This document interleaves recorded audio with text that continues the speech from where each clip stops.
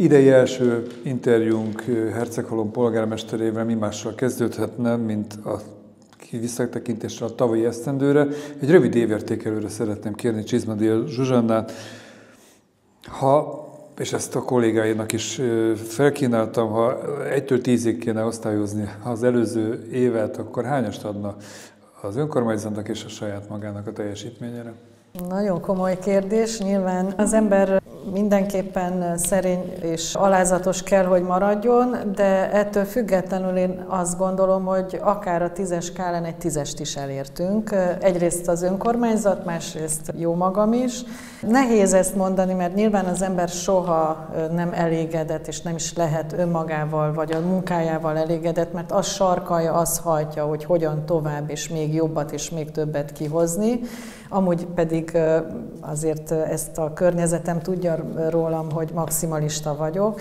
De ugyanakkor olyan eredményeket értünk el a tavaly évben, és olyan eredményesen tudtunk dolgozni, rengeteg munkánk van benne, hogy, hogy valóban ez dicsekvésre ad okot.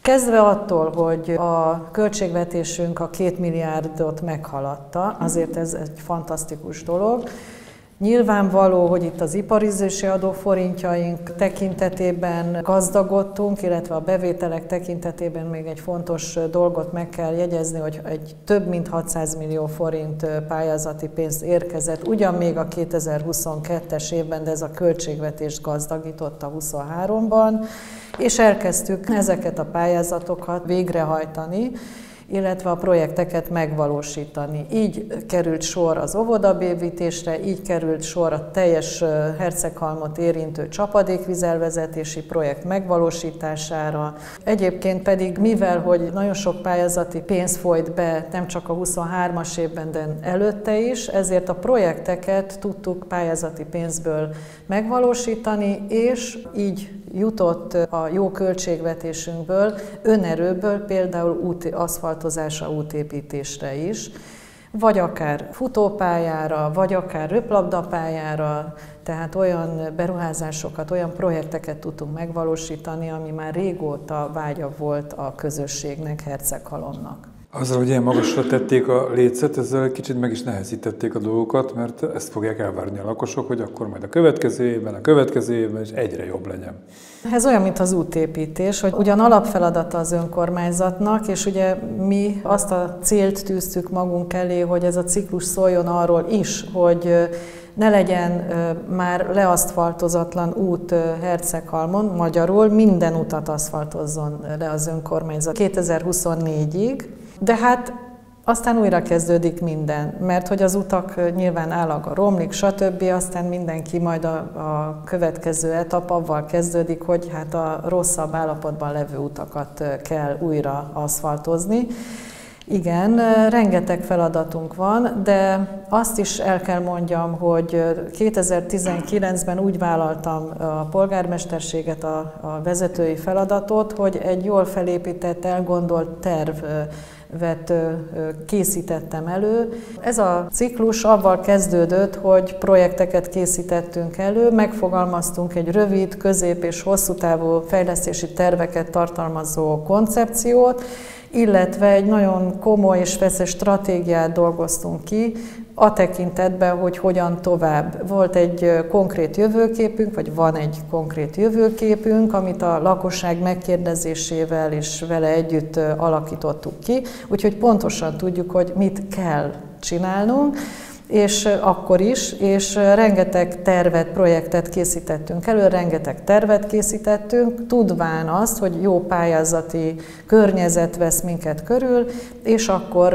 már csak tulajdonképpen a polcra kellett nyúlni és kivenni azokat a terveket, amit mi már előkészítettünk. Én gondolom, hogy a tervek között nem szerepelt a koronavírus járvány, és nem szerepelt az orosz-ukrán háború és a következtében beálló energiabizonytalanság.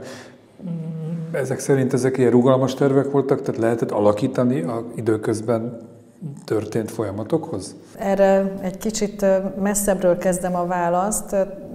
Az előző 12 év például az önkormányzat szempontjából egy állóvíz volt tulajdonképpen a 19-től kezdődő ciklus számára.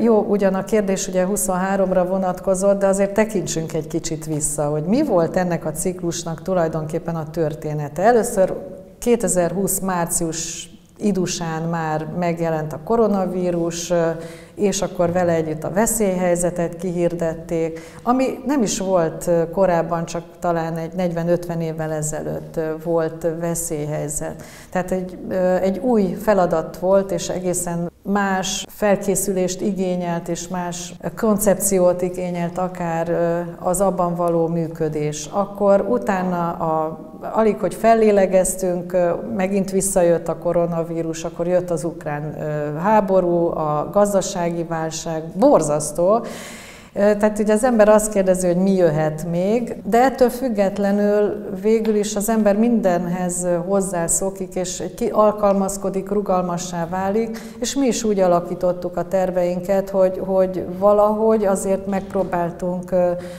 jól működni ezen rossz hatások ellenére. Hogy alakult a közösségi élet szervezése? Egy ekkora településre, mint Hercegalom, különösen fontos az, hogy szinte mindenki ismer mindenkit, hogy egy egységes csapattá vagy közösségé váljon. Ebben is történtek, hogy voltak reformlépései. Igen, ez egy nagyon-nagyon fontos kérdés, és Azért is fontos, mert tulajdonképpen beszélünk költségvetésről, beszélünk beruházásokról, de tulajdonképpen a közösségért van minden. Tehát, hogy, hogy vagy egy, egy szemetes, vagy, vagy egy aszfaltozás önmagában nem létezik. A lényeg az, hogy, hogy a közösség épüljön, és a közösség érezze jól magát. Együtt is, és külön-külön is.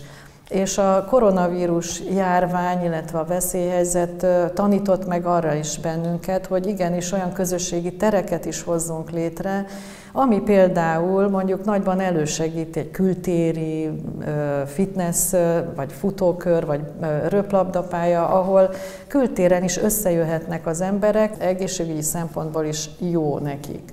Valóban most, ahogy így beszélgetünk, a ciklus úgy kezdődött, hogy nagyon erősen fontolgattuk azt, hogy egy nagyobb tornacsarnokot építünk, ahol a kulturális rendezvényeinknek is helye van, mert hát valljuk be, kinőttük a kulturális és egyházi központunkat, de hát az a terv, az nyilván terv is maradt, éppen ezért, mert hogy, hogy inkább abban kellett gondolkodni, hogy kültéri helyszíneket, közösségi tereket hozzunk létre.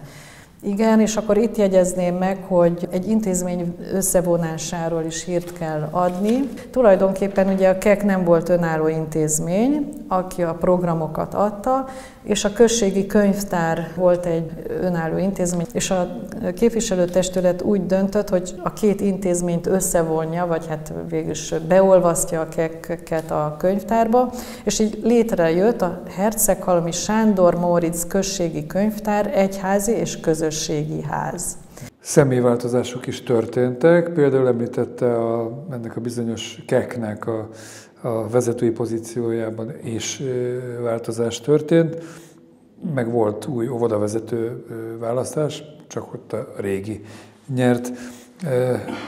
Sőt, a testületben is történt változás. Ezek a változások, ezek a polgármester asszony, meg a település szempontjából jobb vagy rosszabb irányba mozdították el a működést? Én azt vallom, hogy mindenkivel együtt tudok és kell is dolgozni. A, hogyha egy jó ügy érdekében, én szerintem valaki, aki szeret dolgozni, és akar, és tenni szeretne a közösségért, avval mindenképpen tudunk együtt dolgozni.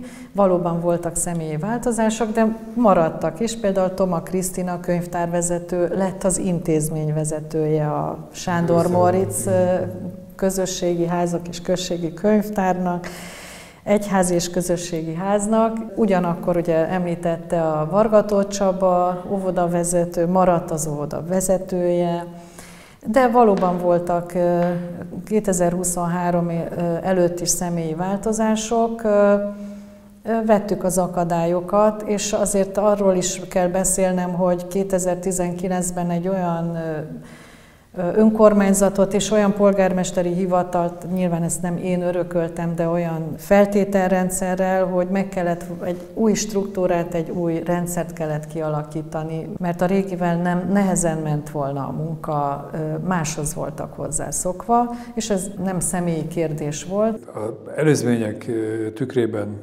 optimistán tekint 2024 elé? Mindig optimistán tekintek a jövő felé. Tapasztalataim azt mutatják, hogy az emberek jól döntenek, és hiszek a választók bölcsességében. Úgy legyen, jó egészséget kívánok a folytatáshoz. Köszönöm szépen.